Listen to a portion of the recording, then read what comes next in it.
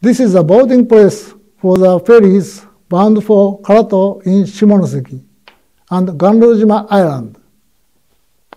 Please use this vending machine to purchase a ticket to your destination. Then wait at the pier and until for your uh, departure time. Ferries depart for Karato approximately every 20 minutes and take about 5 minutes.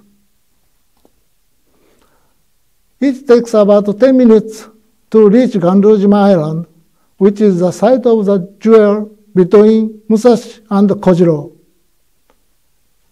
Please check the departure time, purchase your boarding ticket, and wait at the pier.